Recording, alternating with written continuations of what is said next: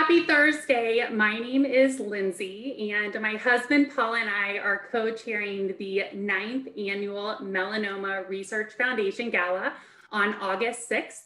This year's gala is going to be live virtual. And since it is virtual, we are really excited to have the ability to spread awareness all across the country and even all across the world. My melanoma journey started back in 2017 when I was diagnosed with a rare subtype called ocular melanoma. Like most people that have, um, have had cancer or heard that they have cancer, um, they felt blindsided with the news. I had no idea that you could get cancer in your eye. My treatment consisted of radiation, adjunctive clinical trials of chemo, countless MRIs, seriously can't even count the number of MRIs um, to check for metastasis as well as um, tumor growth and uh, four eye surgeries. One of my eye surgeries being enucleation, which is the removal of my eye. So I can truly say that this cancer has left me blindsided um, on one side.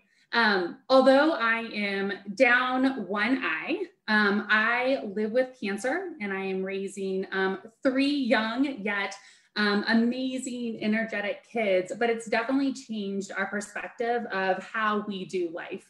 Um, right now, we try to keep life simple. Um, we try to enjoy each and every day, celebrate each win, no matter how big or small it is. And since I have a prosthetic eye and three kids, we do everything in our power to laugh through this crazy world and this crazy path that we've been put down. Definitely not a path that we ever envisioned um, or a path that I planned on um, raising my children like, but we found a way to have some fun and have definitely some prosthetic eye tricks um, to keep us laughing through this really crazy journey. Last year, I was honored to um, receive the Courage Award at the eighth annual um, Melanoma Research Foundation Gala in Denver. And it was truly one of my most favorite nights in 2019. I was surrounded by the MRF, my amazing care team in Colorado, truly have the most amazing care team here um, in the great state of Colorado, and my family and friends the feeling to celebrate and feel some form of cancer accomplishment, um, if you will, in front of those that I love so dearly um, was truly like no other.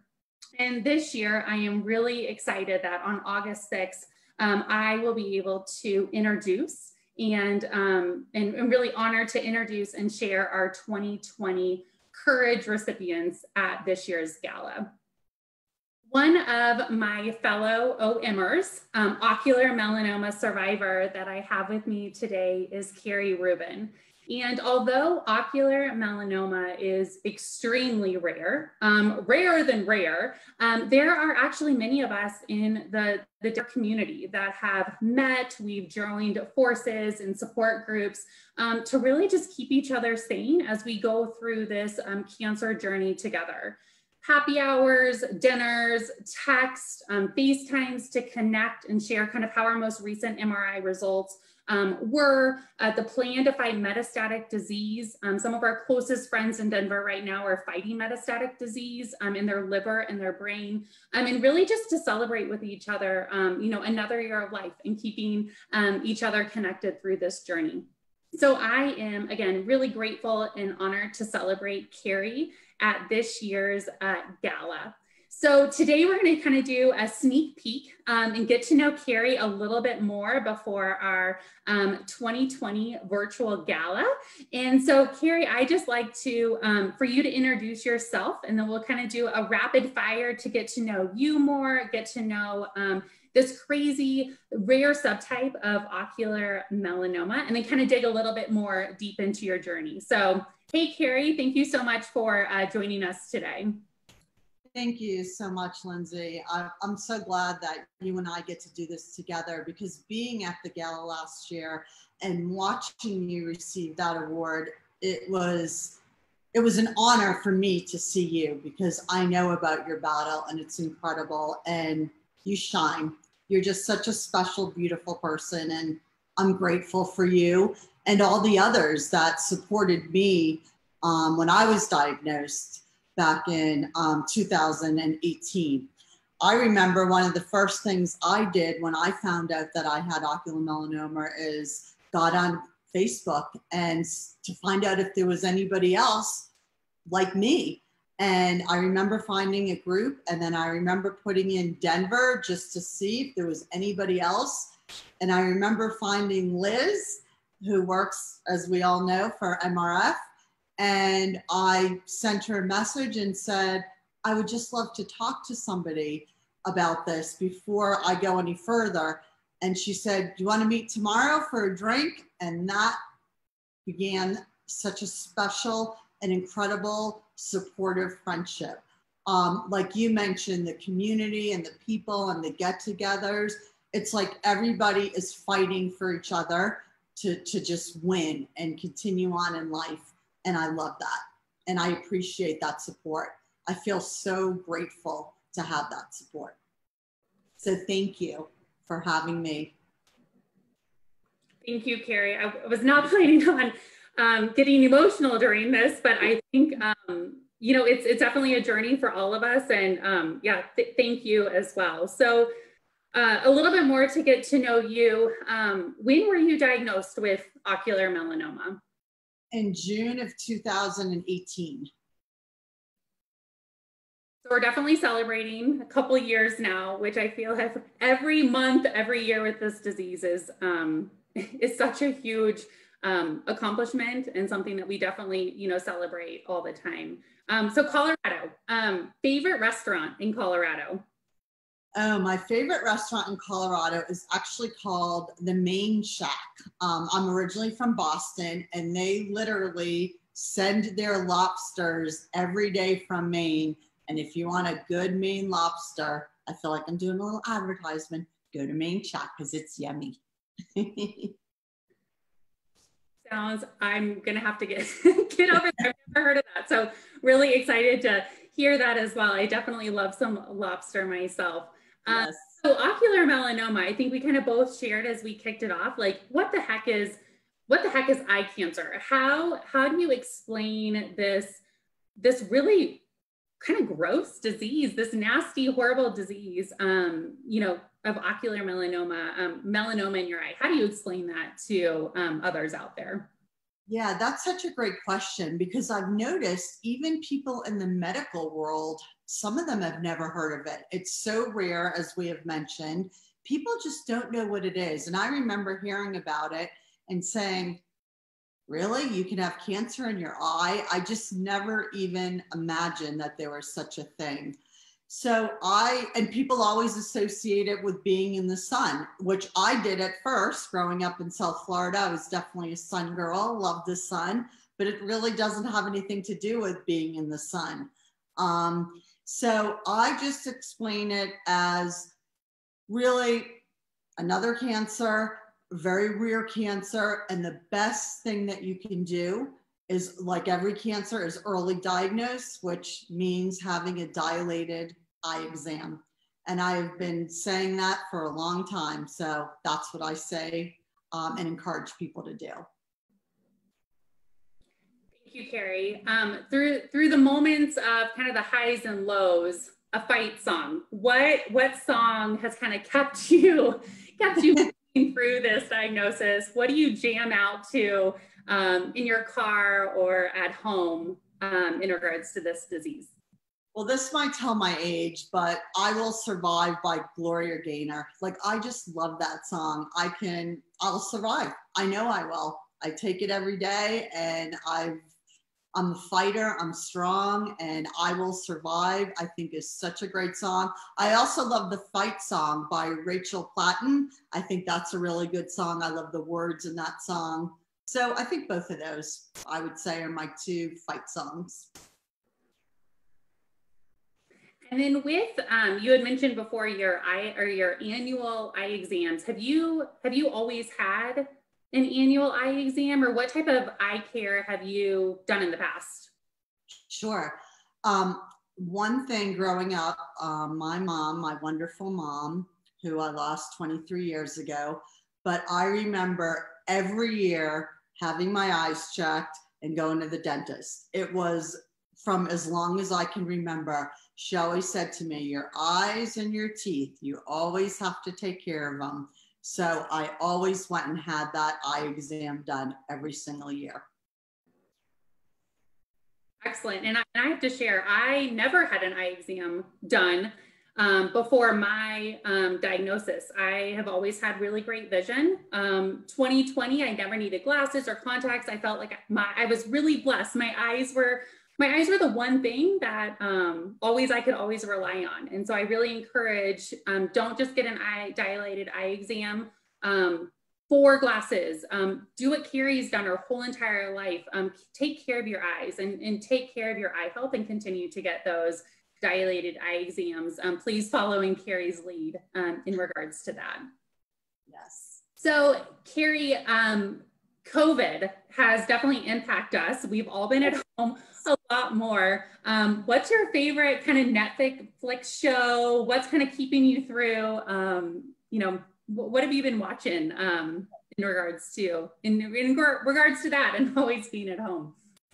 I know it is. It's a different world. Um, well, I recently moved into a new new home, so that's kept me busy getting my new home set up. But if I had to pick a a Netflix um, guilty pleasure, if you will, it's probably Tiger King. Like I watched that entire thing, the entire series, and I don't know. Sometimes I need some mindless shows to just keep me entertained, and that was it. Tiger King. I think we can all laugh about the craziness of, of that show show as well. Um, so that yeah, that's kind of a, a, little get to know you about Carrie. Um, Carrie, I'd like to now kind of move into um, digging a little bit more into you know ocular melanoma, um, your treatment plan, diagnosis, etc. So tell us tell us more about your ocular melanoma journey from diagnosis to treatment, um, whatever you you would like to share with us regarding that. Sure. Well, I, would also like to mention that I went through breast cancer. Um, I, I was diagnosed with breast cancer in 2012, which is how I lost my mom. So, um, you know, cancer, I hate it. What can I say? Like all of us. So, what happened was right before breast cancer, I had LASIK surgery done, and you do a very thorough exam for that. Went through my breast cancer, Fast forward, went through all my treatment for that, went back to get my eyes checked with my LASIK doctor. It was about a year and a half later. And she saw a spot in my eye that she hadn't seen when she did my exam for the LASIK. So saw that spot, immediately sent me to a doctor. And I was living in Chicago at the time. He did a million pictures and said to me, actually, incorrect information told me that it, my breast cancer had metastasized to my eye and I needed to start radiation immediately. With that, I decided to get a couple of other opinions, which I think sometimes is really important to do because you never know. With, in my case, went to Wills and went to Bascom in Miami, Dr. Harbour um, in Miami, and Dr. Shields at Wills, and both of them said it was a freckle. So I was excited. I loved my freckle. It was okay. I have freckles all over, a freckle in my eye. I can handle that. They said, we have to watch that freckle. I said, okay. Went back a year later. It didn't grow, my freckle. Celebrated, was excited. Another year later, didn't grow. Again, super excited. I then moved to Denver went to get some reading glasses and that doctor said you have a spot in your eye. And of course I, I'm, I'm a doctor now because of my cancer that i've been through and i was like it's a freckle. I've already had it checked. She said it looks a little suspicious. I'd like you to go to dr oliver at uc and get it checked out. And then she called and made me the appointment which you never really like when that happens but you know it's pretty urgent when that happens so I went to the wonderful dr oliver he looked at my eye. He wasn't positive that it was ocular melanoma, but he thought it was. And he said the only way to really be sure is to do that biopsy. And I was like, a biopsy in my eye? I was petrified just the thought of that. But he made me feel better when he told me that I was put out for this procedure, like it's a real, it's a surgery. Thank goodness. Came back, um, went to see him. We had the appointment and found out that it was the ocular melanoma. I was devastated. I remember thinking, how can I have a second cancer that, and they don't even have anything to do with each other? It was really, really tough for me to hear that. But I had an amazing teacher, my mom, who taught me you got to fight, you got to be positive, and you just have to do what you have to do. And that's what I did. So I had the plaque radiation done, which for those of you that don't know what that is, is they actually they call it a button and they sew it into your eye and it releases radiation. Now, most people, I believe it's about 90%, their tumors are in the back of their eye. Mine, of course, has to be in the front of my eye. So that meant that the button was actually sewn in the front of my eye. That they called it again a button. I call it a piece of broken glass because that's literally what it felt like in my eye. The most painful thing out of everything I've ever had done to have that in my eye. Um, I just counted down the seconds until that thing came out. The longest five days of my life. It was very painful. But I just kept saying, it's doing its thing. And I remember when I had it taken out, I said to Dr. Oliver, oh, that thing worked. My tumor has to be gone. There is no way that somebody could be put through that much pain and for it not to work.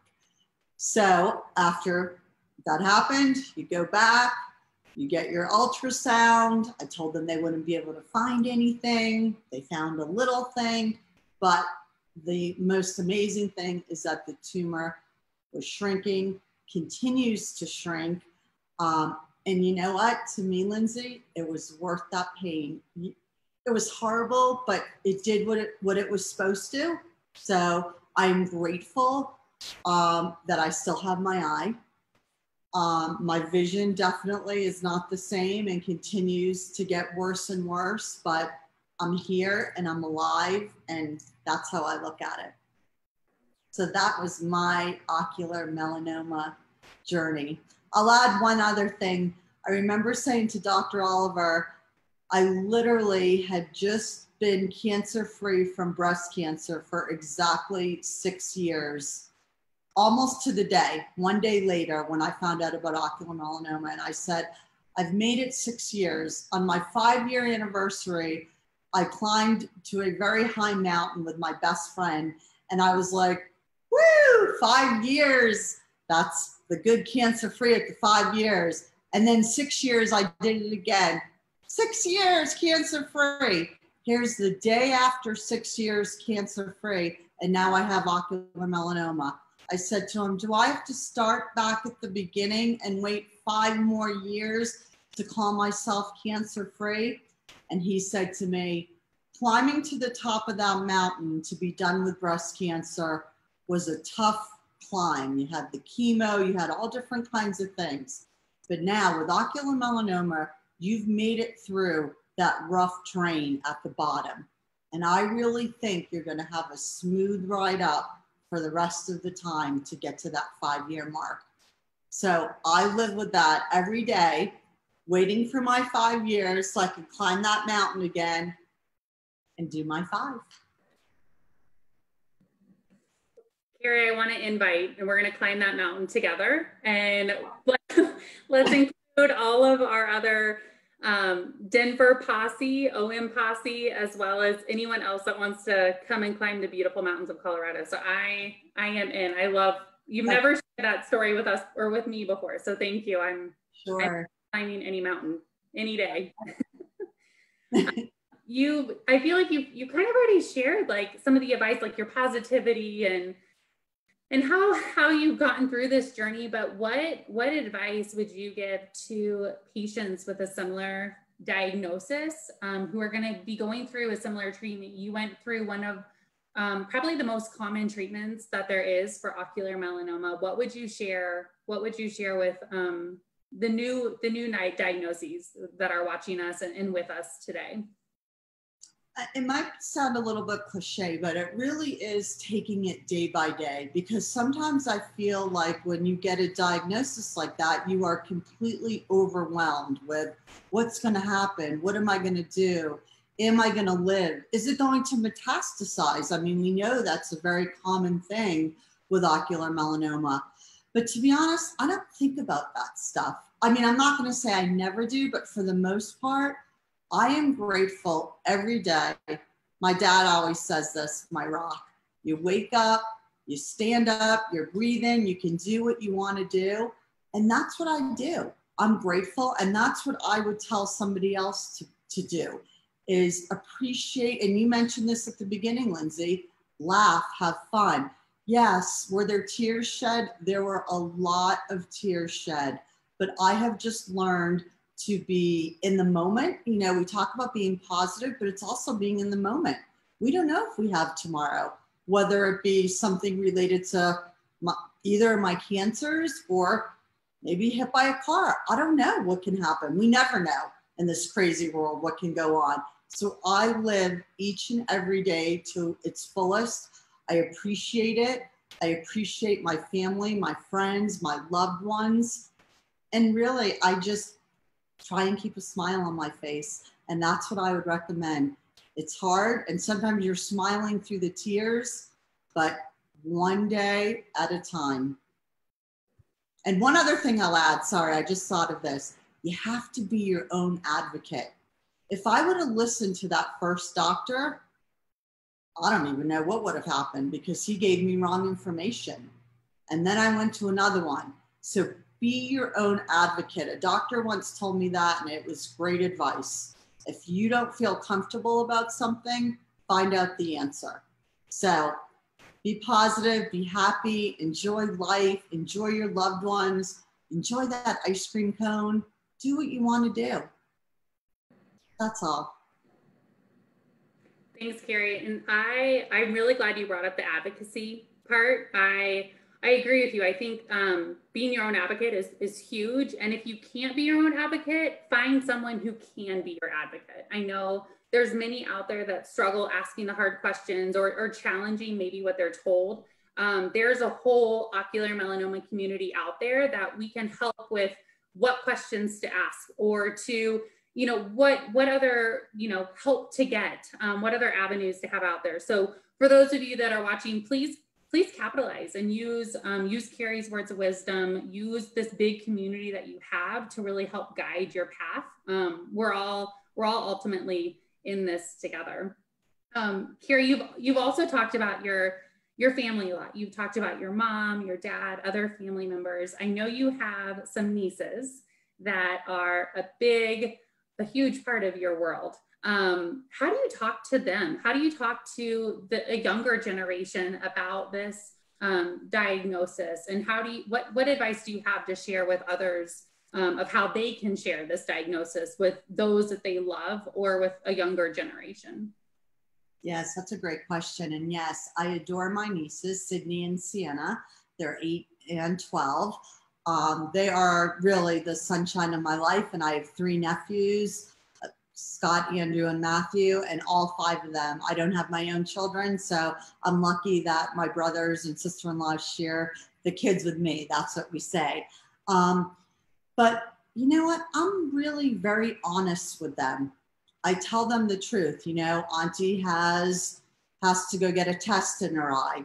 Oh, my test didn't come back so good. But you know what? I'm going to have a special treatment I'm not going to be able to see you guys for that week, but that's okay. And then when you see me, I'll have a patch on my eye. And I just tell them exactly what's happening so there's no surprises. And I also tell them the importance of getting your eyes checked. And if you ever see something funny in your eye or you feel like things aren't right, you have to tell somebody, you know, tell mommy, tell auntie so that you get it checked out.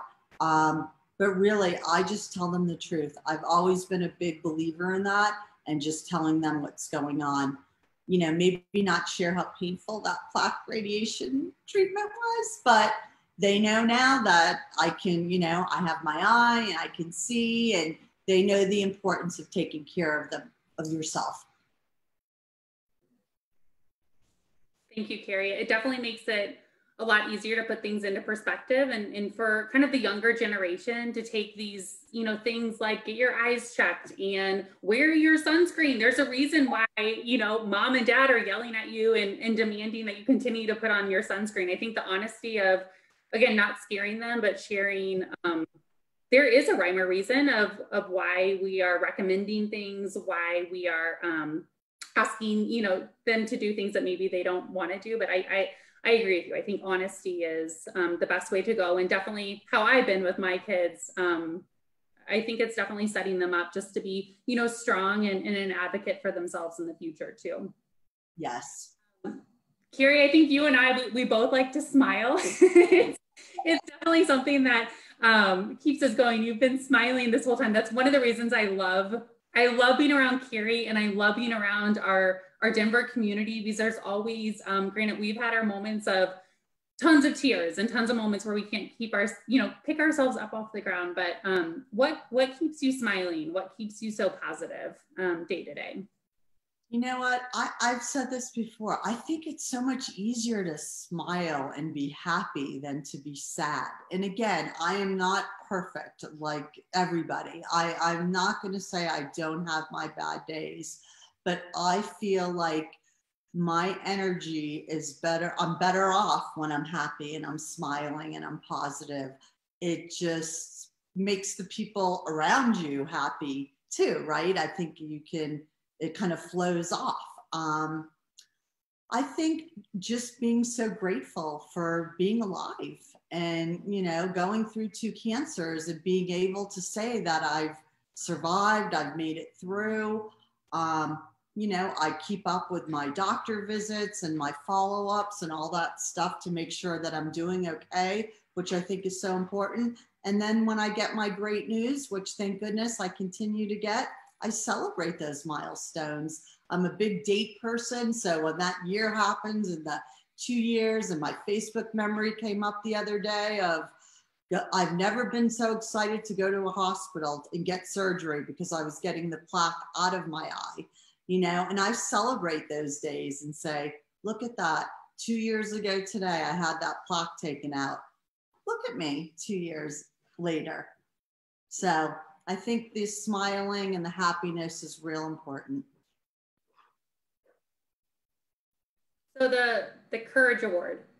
Um, so I am, as I kind of mentioned earlier, um, when we kicked it off, I am beyond honored um, to introduce Carrie as one of our Courage Award recipients, um, again at the 2020 gala, um, the virtual gala on August 8th. Um, Carrie, I feel you just radiate so much positivity, so much hope for the future. Um, I, I, love, I, I, truly love being around you. Um, what, I mean, it's, it's, a, it's an obvious that you're such a role model when it comes to the life that you live. What does this Courage Award mean mean to you? You know, it really means a lot. I, I've been told for years with the breast cancer, with the ocular melanoma, how much courage I have, what an inspiration I am. Um, you know, you're so positive, all of those things. But but now I have an award. I actually have an award that says we've also noticed your courage and that it means so much to me it really really right here i love looking at it i love my award i just i'm really proud to that i received it it just it it just makes me feel really good and being acknowledged for such a special award and to share it with other people like yourself that are beyond courageous. I mean, you know, what you've been through, your battle was bigger than mine. Everyone has their own battle, but courage is so important. It's right there along with that strength, right? You just have to have the courage. And I have it, and I'll continue to have it. And I thank MRF for giving me this award because it really does mean a lot to me. Thank you, Carrie. Um, thank you for sharing your story and definitely helping us raise awareness regarding melanoma and one of its rare subtypes of ocular melanoma. Um, courage is definitely one thing, and thank you for everything that you are bringing to the ocular melanoma community. There are many that um, have received this awards before um, both you and I, and they are definitely my inspirations and role models every single day as well. So big shout out to um, Carrie and I's role models out there fighting their best ocular melanoma fight. And also want to thank, um, on behalf of Carrie and I, thank all the courageous caregivers, um, our family members, our friends, our colleagues. Um, this is a pretty crappy route for you all to be on with us as well. But thank you for being courageous and, and keeping our day to day um, happy and enjoyable and, and allowing us to be courageous as we go through this battle as well. Um, so we're kind of going to wrap up um, our session today, but I'm hoping that you learned a lot more about ocular melanoma. I hope that you have a great resource in, in Carrie today and Carrie sharing her story. And I hope for other ocular melanoma um, new patients or patients out there to know that you have such an awesome and big community that we're all here um, together to get through this, this crazy disease, again, that we call ocular melanoma. Um, the gala. The gala, though, to conclude, um, is coming up on August 6th. As I mentioned before, it is going to be a virtual gala. Um, I'd like to give a big shout out to those that have already um, purchased tickets, donated, and definitely to our sponsors. Thank you, thank you, thank you for everything that you've already done to support this gala um, in advance. And to everyone else out there uh, watching um, Carrie and I live or after the fact, um, please mark your calendars again for August 6th. Um, you can go directly out to the Melanoma Research Foundation website. Um, you can purchase a ticket, make a donation. Um, a lot of those that we've talked to are um, planning on hosting small watch parties in their backyard. Um, fill up the drinks. There's a, a, couple really awesome Denver restaurants that are also um, sponsoring the gala where you can get some amazing food from as well. So all the information is on the Melanoma Research Foundation Gala website. Um, the gala, as I mentioned, it's going to be live virtual. Um, so we're going to kind of have like a virtual cocktail hour. It's going to be followed by um, our normal kind of scheduled presentation where we're going to be honoring um, um, several amazing Colorado-based physicians um, that are making such a difference in the melanoma community and the melanoma world. Um, we'll also be um, introducing the courageous individuals, so Carrie as well as a couple others, and then um, concluding with a live fund a grant auction and a chance to win a trip of the lifetime. So kind of to conclude, um, really it is so vital that we continue to raise awareness for melanoma and all its rare subtypes um, we uh, continue to thank and to continue encourage um, the donations and the sponsorships. It's really, again, important to raise awareness, um, to raise the research dollars to bring us so much closer to a cure. Um, within COVID, our, our world has been changed and has been turned upside down. Um, we're definitely struggling in the research, um, you know, area to bring the research sites back on. It's it's really important. Really, thank you for supporting the Melanoma Research Foundation and getting our um, research sites back opened up and, and bringing us that much closer to a cure. So thank you so much for spending um, such a, a, great afternoon with us. Um, Carrie and I are um, really blessed to have all of you in our lives and following us. And, and thank you again for your support um, to the gala. And we're really, really excited to um, honor Carrie even more at that night's event. So Carrie, look forward to um, honoring you and sharing your story. And um, really thank you for being such a courageous individual um, forever and ever and ever. So thank you, thank you. We wish you all a wonderful Thursday and we look forward to seeing you at um, the ninth annual live virtual gala on August 6th. So take care. Bye, everyone.